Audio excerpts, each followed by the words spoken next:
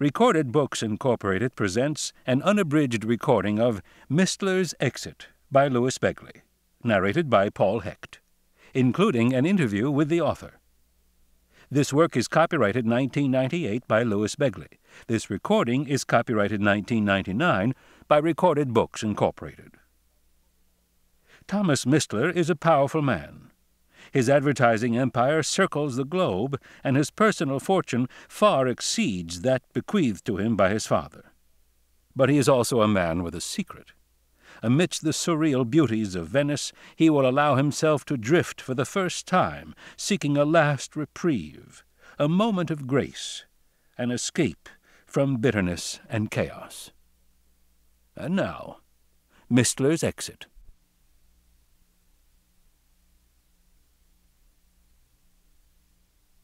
Chapter 1 I understand, said Mistler. Really, there was no need to rush the conversation. The waiting room was empty.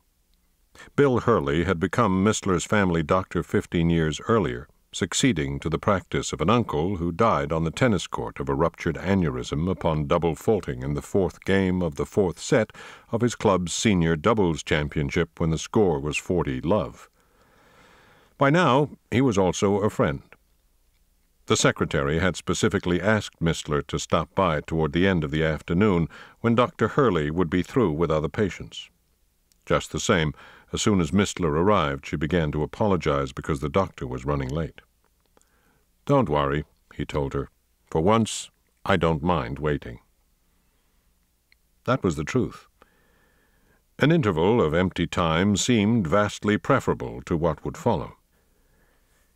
In fact, if there was a reason to hurry, once Mistler had reluctantly abandoned a two-year-old issue of Glamour and found himself in Hurley's office, the place where Hurley interrogated and decreed, the reluctant flesh having been poked and kneaded into yielding its secrets in the adjoining cubicle that housed the examination table and a reliable scale, the only piece of Hurley's equipment Mistler was fond of.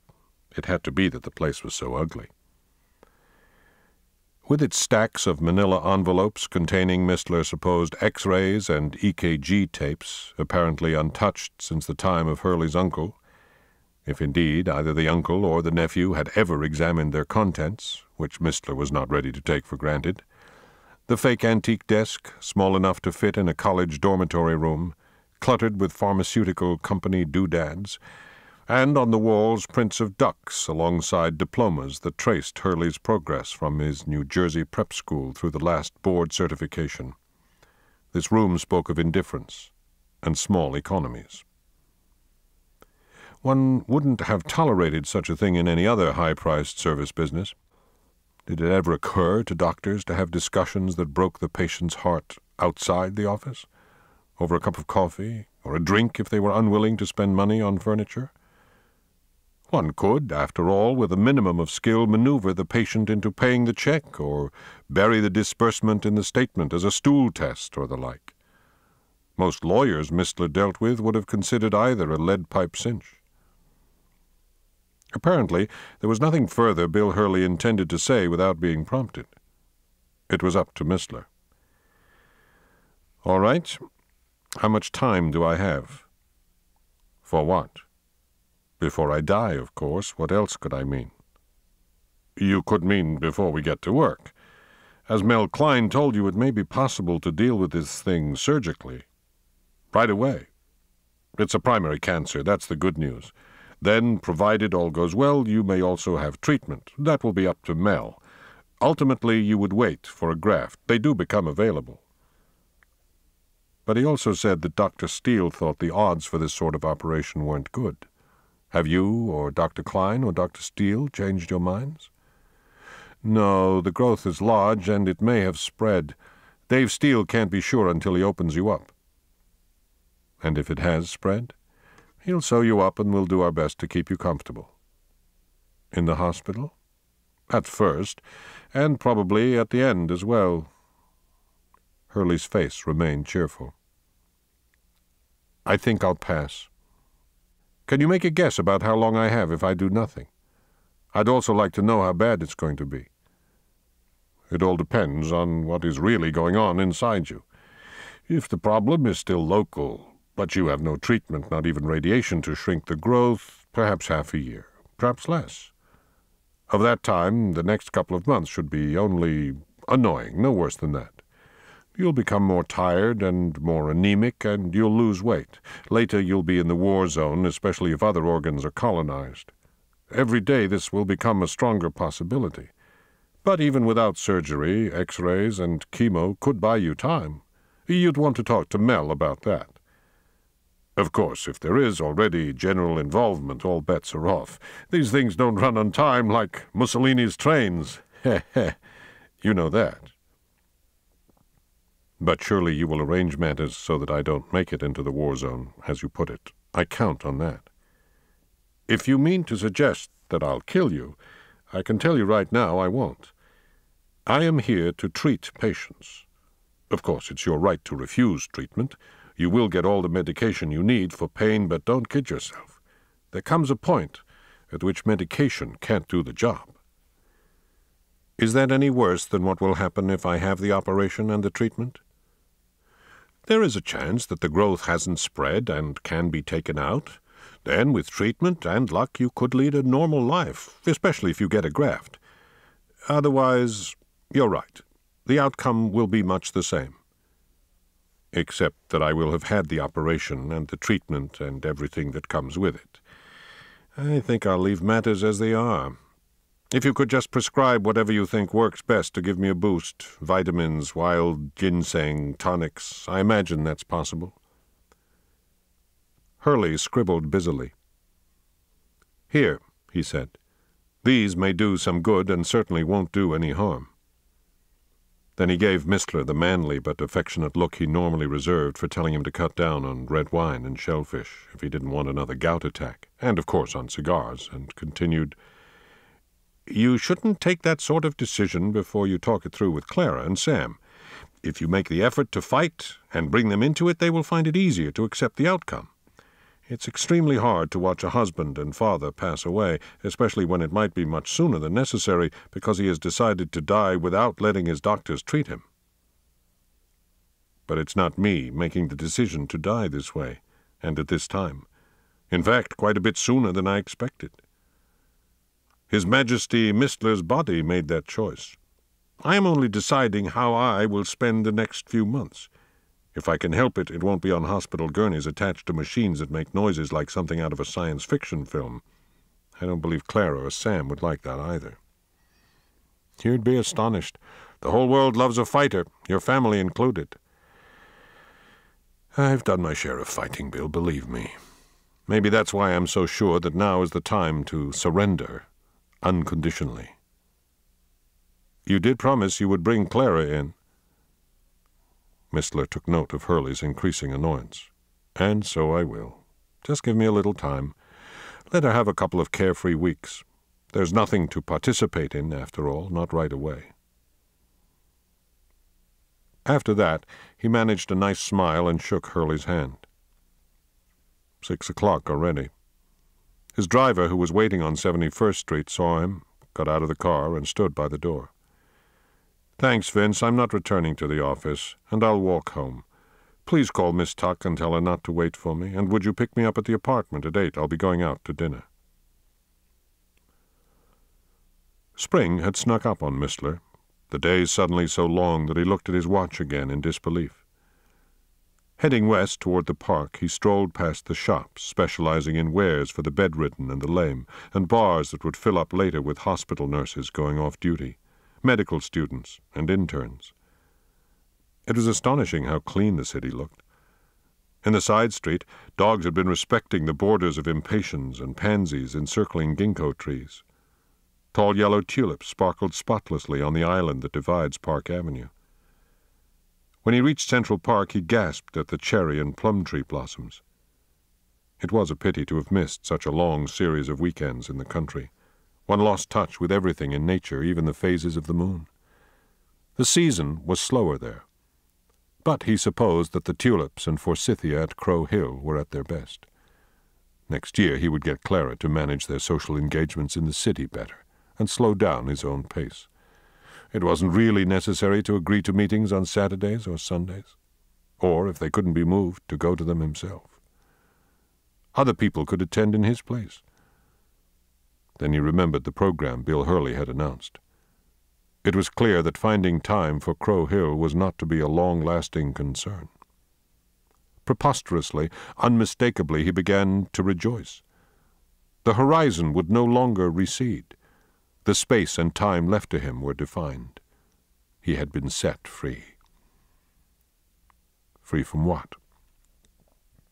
The question which he immediately put to himself had implications that were puzzling, since Mistler considered himself a happy man as the world goes. In interviews and in statements he had prepared for the big college reunions, he had gone on record with the belief that he had managed his life well. He considered himself entitled to that point of view, although it rested on a premise he kept secret to avoid being teased that he was actually a self made man, and his successes largely independent of the circumstance in itself quite pleasant of having been born some sixty years earlier in the hospital adjacent to Bill Hurley's office, with a silver spoon stuck firmly in his mouth. No, there was nothing from which he should wish to escape. His marriage had long ago become tranquil. He loved his only son.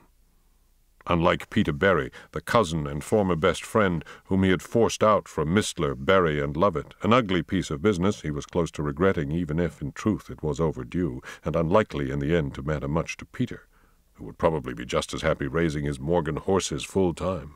He enjoyed his work as much as ever.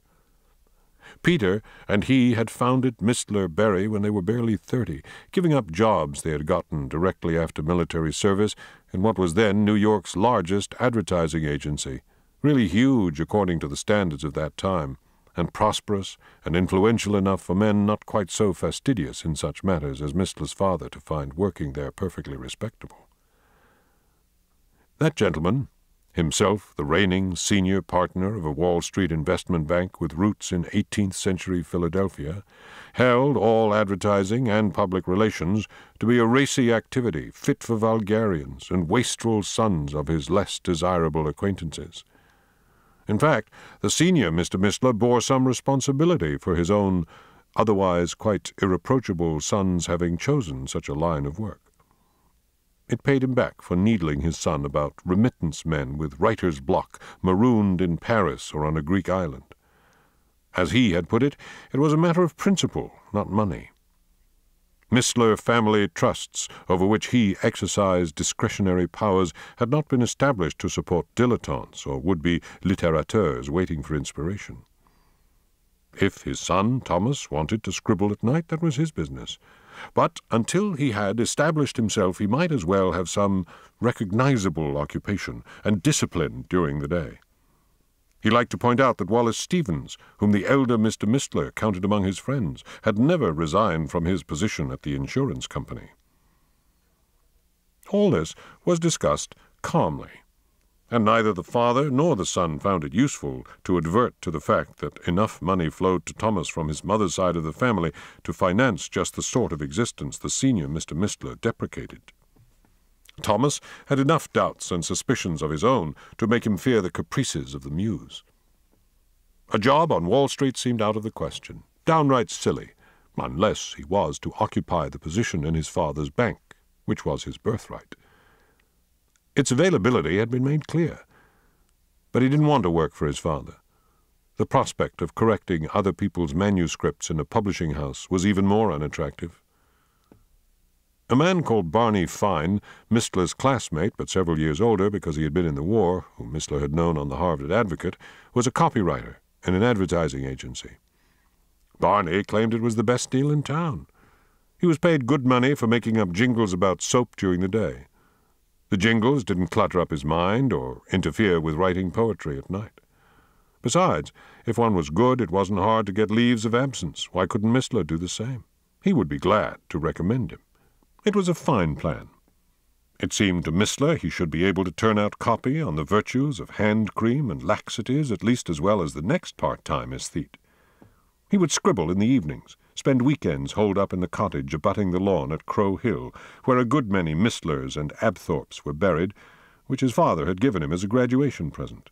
and enjoy his holidays, or, by God, those fabulous leaves of absence in a whitewashed house on some rock in the Aegean. Peter Berry really needed to make a living. He asked Barney whether Peter might be squeezed in too. No one was more surprised than Mistler when he discovered right away that he liked advertising. Three years later, he came to the conclusion that he would have even more fun if he worked for himself. It was just as well, since by then he had other reasons for showing that he could excel at running a business. He talked Peter Berry and Harry Lovett, the latter badly needed for his maturity and experience to reassure potential clients, into joining him.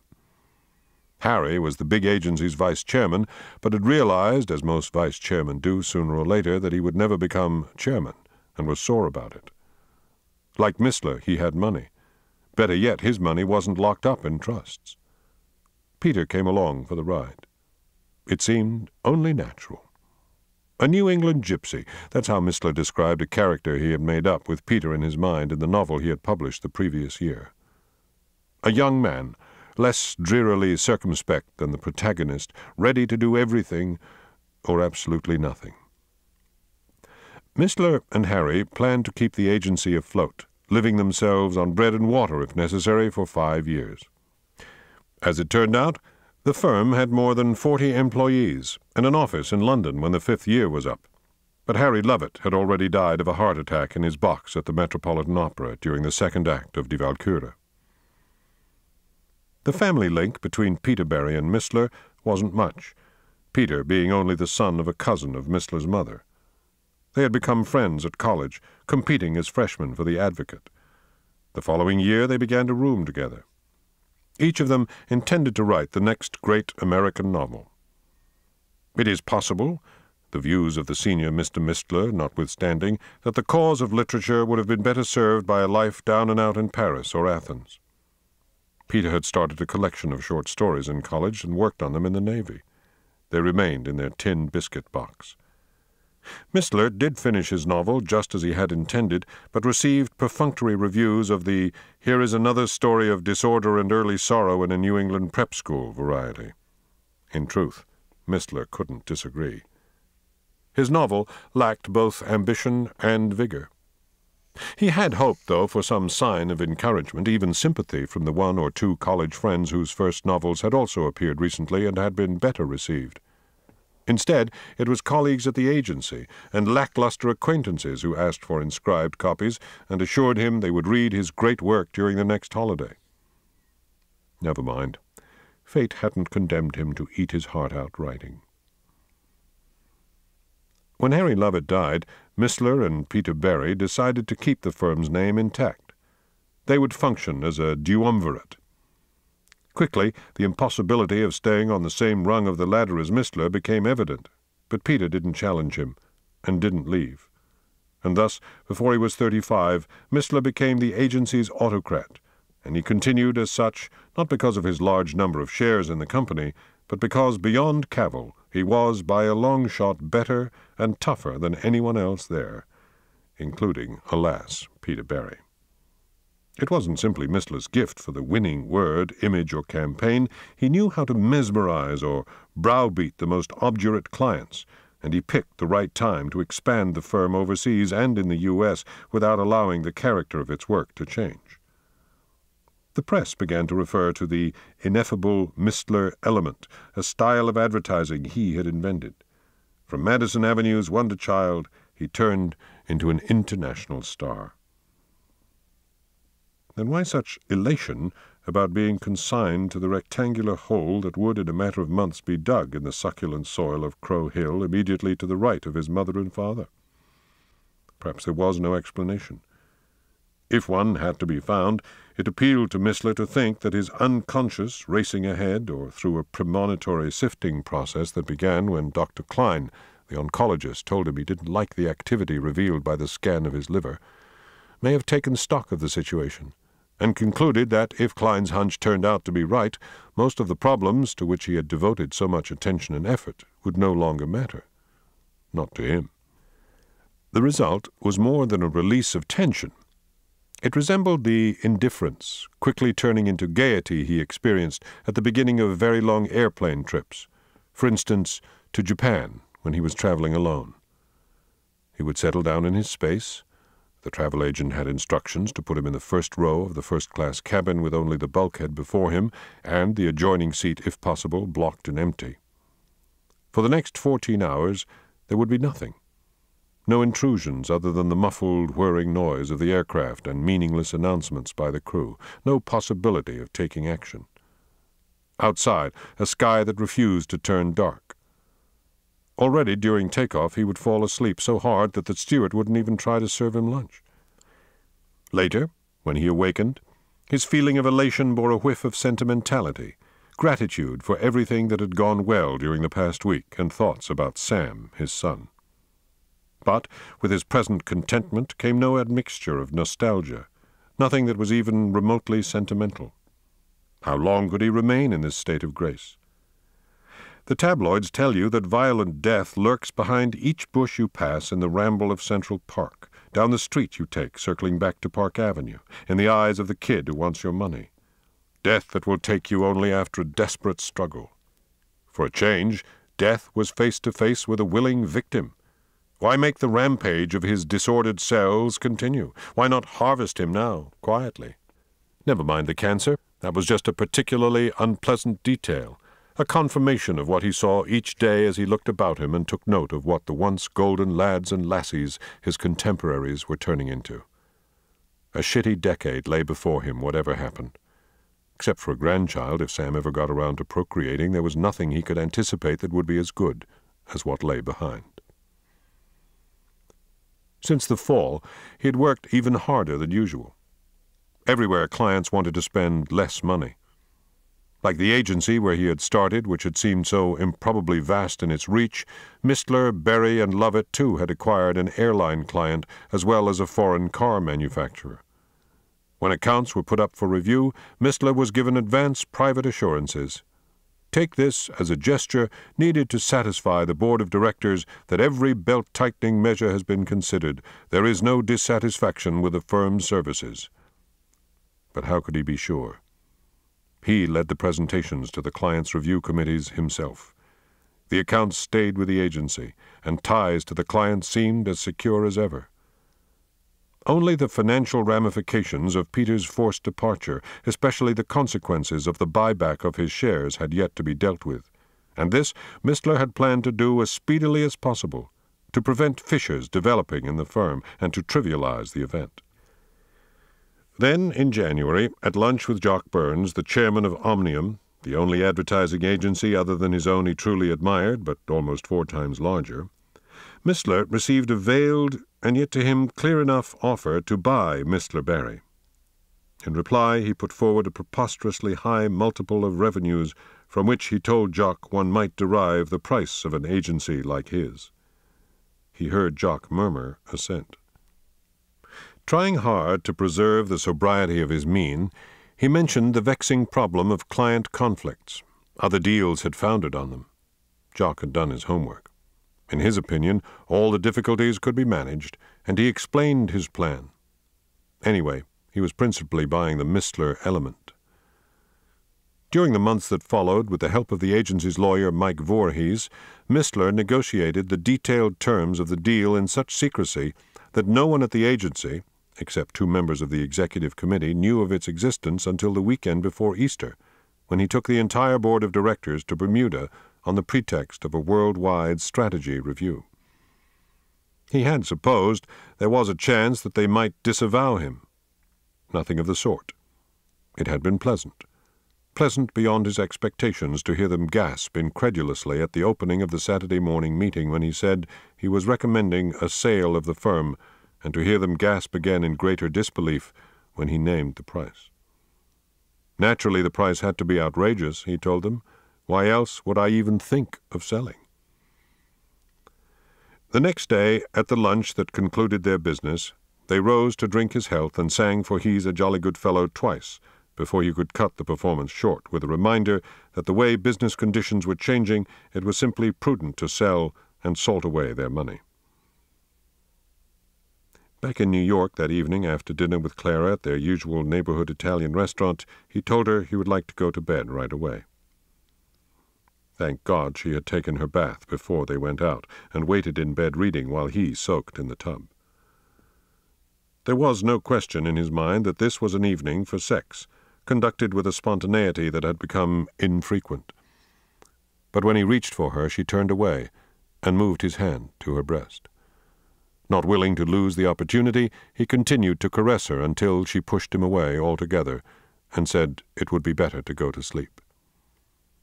He didn't reply, supposing she had realized how quickly his impulse had passed. But after a moment she spoke. Did you see yourself in the bathroom mirror? You don't just look tired, you look sick. I really mean it. Please don't turn this into one of your jokes. I want you to make an appointment tomorrow morning to see Bill Hurley. That was the opening gun. After the visit of necessity, he told her that Hurley had ordered tests, but he brushed off her questions about their nature. She had learned long ago that when he was unwilling to speak, there was no use insisting. It made him sulk. When the CAT scan and everything else that photography and electronic probes could reveal had finally been read, and both Klein and Hurley said a biopsy was necessary, he looked at his pocket diary and told Hurley it could be on the last Monday in April because Clara would be away all that week. Otherwise, he wanted it done out of town, for instance, in Boston. I don't wear pajamas when I go to bed with my wife, if she is away, she won't be running her hand over bandages and stitches and asking me what happened. You can't keep this sort of thing from her, said Hurley. It's a serious mistake. I don't intend to. Once I know what this thing is and what will be done about it, of course I will tell her. I'll also get her to speak to you and Dr. Steele and Dr. Klein. You realize that the wound won't heal within that one week. Yes, but the bandage will be smaller. And if I have to, I will tell her a white lie that I have finally gotten rid of the wart you've been nagging me about. Incidentally, let's ask Dr. Steele to cut that thing off while he's working in the area. Most likely you will have results of the biopsy by the time she returns. Well, there was nothing more to wait for. He had just received all the news he or anyone else needed. It was Tuesday. The meeting of the Zoological Society's board of directors would end on Thursday so as not to interfere with the weekend. She could be back in New York on Friday in time for them to go out to Crow Hill together, but he didn't feel ready. It would be better to call as soon as he came home from Anna Williams's dinner and urge Clara to spend the weekend instead with Sam. Why not take advantage of being all the way in San Diego to visit him at Stanford? They might go on one of those wine country drives in Napa Practically anything had to be better than a weekend of getting acquainted with Mistler's cancer. And it would help when he finally told her if she had an image of an untroubled and recent good time before her, especially one without him in the foreground. This might even be an opportunity while he was still at the edge of the no man's land before departing on cancer patrol to give himself a special treat. Something for him to savor in the months or weeks to come. He would need the lingering taste of sweet. During his last visit to Rick Vernhagen at the hospital a few days before he died, Vernhagen showed him a small conical object connected to the intravenous feeding tube. It was taped to the bedsheet. He hadn't noticed it before because it was covered by Vernhagen's hand. Vernhagen seemed quite impossibly weak, the tube draining globs of dark brown liquid from his stomach, which had been inserted through his nostril and larynx, had frayed his vocal cords. Mistler moved his chair as close as possible to the pillows on which Vernhagen's head rested and strained to understand him. You see this? Vernhagen croaked excitedly, moving back and forth the object which ended in a white plastic button. I love, I love it. You press like for room service, and it brings nirvana. Yeah, and you don't have to talk with the floor waiter or give him a tip. The private duty nurse, seeing that Mistler didn't understand, explained that this was a new way of managing pain. When the patient thought it was bad, he squeezed to release morphine. It mixed with the nutrient and immediately flowed into the vein. You'd be surprised at these guys, she continued. I've never had one use it just to turn on. Well, he would soon find out how memories of a happy life compared with morphine and Demerol. If Clara asked him to fly out to join her and Sam, he would say that Hurley had ordered him to rest. A long weekend with Clara and Sam wasn't his idea of the treat he needed. They would have time for some of those, perhaps even a vacation, as soon as the semester at Stanford ended, if Sam could manage not to dawdle over year-end examinations and papers, and he, Mistler, could complete certain arrangements at the firm and make sure the deal with Omnium was solid. For now, let Pluto grant him, for his piety, a paltry ten days of serene emptiness. He would go to Venice. It was the one place on earth where nothing irritated him. Neither research nor planning was required. He knew where to stay and which room to ask for, and how to avoid the tourists who feed pigeons at San Marco, or follow like an ugly ship in the wake of the pilot's tug some garrulous polyglot person with a funny-colored open umbrella. His conscience need not nag if he failed to look at this or that essential painting or monument. Vedi Napoli mori. It wasn't as though you could capture a masterpiece on your retina and thereby turn it into a funerary object to accompany you, like a pharaoh, to the grave. He had been looking at Venice carefully from the time he was a college boy. Whether to see or not to see a particular Titian or Bellini again would be like the choice between saying goodbye to his fellow guests and taking French leave. A nosy and censorious busybody, by definition almost any friend of a married couple, might think it was something of a dirty trick to make this trip without Clara. He knew better.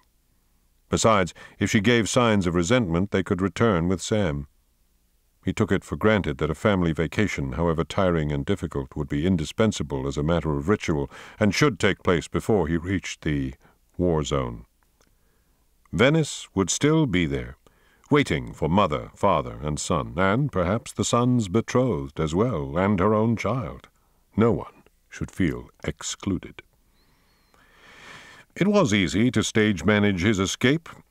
He could leave on Sunday night before Clara returned from the West Coast, assuming she took his advice and arranged to meet Sam. In fact, if she asked him to join Sam and her for the weekend, the trip to Italy should make his refusal uncontroversial. There were no shortage of pretexts. The Milanese fashion empire he had been courting so assiduously, which had already given the agency work, had asked him, with no notice at all, to a meeting. How could he refuse? As for taking her along, this sort of trip to Milan epitomized everything about his business life she quite rationally hated. Mistler at meetings all day, leaving her stuck with the wife of the client's chairman. Then in the evening, both of them, like hired performers, having to go through their repertory of small talk about children odious cultural stereotypes, and the wonders of funghi porcini, or whatever indigenous equivalent happened to figure at the top of the menu of the pompous restaurant to which they were escorted. She played her part correctly during those occasions. As a general matter, she disliked people less than he. But there was no doubt she would gratefully skip Milan if he told her she wasn't specifically expected. The detour to Venice, depending on how and when he mentioned it, why, she would take it either as one more example of his beastly behavior or a welcome obedience to Bill Hurley's orders to slow down. Mistler was appalled at how efficiently, even as eternity burned his eyes like a desert, he planned the lies he would tell. It was proof that practice makes perfect. While he was at it, might he not also accelerate his liberation from plans and obligations and call Anna to get out of her dinner? half past seven. To check on the housekeeper's alertness, he rang instead of using his key. Madame Marie opened at once and reminded him that he was going out and should be getting ready. That was as it should be. How satisfying to have this paragon working for them, a good-looking woman and well-trained, not by Clara, of course, who was too egalitarian in her dealings with the staff. They had inherited her from the Belgian consul general departing for an ambassador's post in Sweden. Mistler hoped that Clara would keep the woman and the apartment. In general, it would be easier to leave in the belief that everything else would remain unchanged. Continuity. A video of Mistler's happy life playing on, with Mistler absent. Just like their family photographs, there were hardly any in which he was to be found for the very good reason that normally he took them. He had just about decided to dial Anna's number when he realized that the exemplary Madame Marie would be disappointed if he broke a long-standing engagement and forced nice Mrs. Williams to rearrange her table and her, Marie to whip up an unscheduled meal for Monsieur. One mustn't confuse servants, whispered a voice in Mistler's ear, which he recognized as his mother's. Therefore, he thanked Madame Marie, and, humming the Ode to Joy, went upstairs to change. The west side. Anna's apartment building faced the Museum of Natural History. Mistler told the driver to be back by 10.30. He would make this an early evening. A huge moon like a Seville orange, cut in half, tender and perplexed, hung over the east side. He paused to admire it. Vince had paused too, cap in hand, waiting to see Mistler make it safely into the lobby where the task of protecting him would pass into the hands of whoever had jurisdiction there. A pleasant-looking young man in jeans and white shirt, open at the collar, stopped beside Mistler, pointed at the sky, and grinned. Not halfway bad. He spoke with an accent that could be Australian. Mistler agreed and told Vince it was really all right to leave. The boy entered the lobby and then the elevator with him and pressed the button for Anna's floor. Grinning again, he said, We're going to the same place. I'm from New Zealand. Checking out New York. I heard your name when you gave it to the bloke in the lobby. My name is Thomas. That's my first name, too. Right. The door of Anna's apartment was ajar. One could hear the braying of the guests. It was a large party, after all, probably a buffet. She wouldn't have missed him. Mistler rang the bell and walked in, expecting the boy to follow, but he didn't. Making a circular gesture with his hand, on the fingers of which Mistler noticed several rings, he used a key to let himself into the other door on the landing, which led, presumably, to the bedrooms in the back. A minor mystery. Was this a friend's child ducking in to put on a suit before dinner? A houseboy who wasn't going to serve at table? Mistler had never met Mr. Williams. He thought he remembered Anna saying years ago that his business consisted of building swimming pools in Hobe Sound. It had been one of those early and short-blooming marriages that happened to people in the year following their move to New York, like a car crash after college graduation. Without enjoying long tenure, various men had succeeded him as Anna's acknowledged companions. Could this beachcomber be a sex object who had arrived early and would wait patiently watching television without sound until the last guest left and Anna returned to the bedroom, stretched luxuriously, and kicked off her shoes? Mistler knew the gesture. He would have thought, though, that Anna was past that sort of after-dinner entertainment. There was one new face in the living room, the young woman with straight brown hair and no makeup. Everybody else was, as Mistler's father might have said, the same as usual, only more so.